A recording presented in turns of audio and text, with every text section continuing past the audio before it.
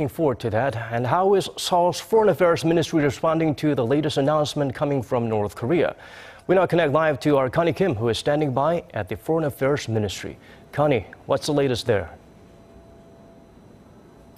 Well, Daniel, at around 3:40 p.m., South Korean Foreign Minister Yun Byung-se met with Mark Lippert, the U.S. ambassador to South Korea, and General Curtis Scaparrotti, the commander of the U.S. Forces Korea. Yoon uh, reportedly explained Seoul's assessment of North Korea's nuclear test claim and called for close coordination between the allies' diplomatic and defense authorities. The three agreed to cooperate on maintaining a strong defense posture in light of the North's claim. Yun is also reportedly in the process of talking with the foreign ministers of the U.S., China, and Japan. Now, earlier in the day, the ministry condemned Pyongyang for the nuclear test. Take a listen to what Vice Foreign Minister Im Sung-nam had to say.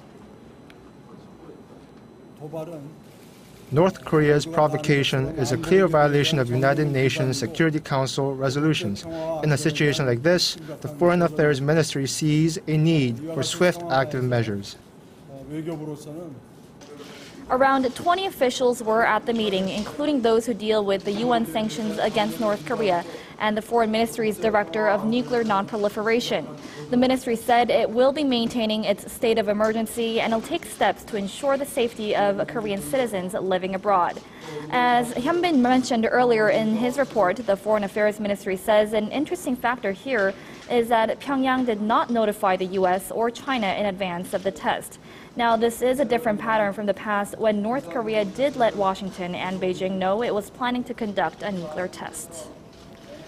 Being its usual unpredictable self, well, Connie, how is the international community responding to the announcement from North Korea? Well, North Korea may be finding itself more isolated in the international community. Now, China, Pyong, Pyongyang's longtime ally, uh, issued a statement saying it strongly opposes the hydrogen bomb test conducted by North Korea. Beijing's Foreign Affairs Ministry urged Pyongyang to abide by its international obligations. The White House said it cannot confirm Pyongyang's hydrogen bomb claim, but it condemns any violation of UN Security Council resolutions that ban North Korea from nuclear tests. Neighboring country Japan said a North Korean nuclear test is a threat to Japan's security.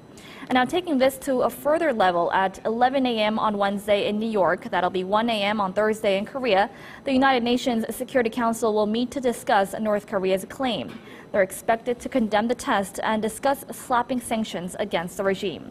Uh, looking at the past, it took between 5 to 23 days for the UN to slap sanctions on North Korea after previous tests. Back to you, Daniel.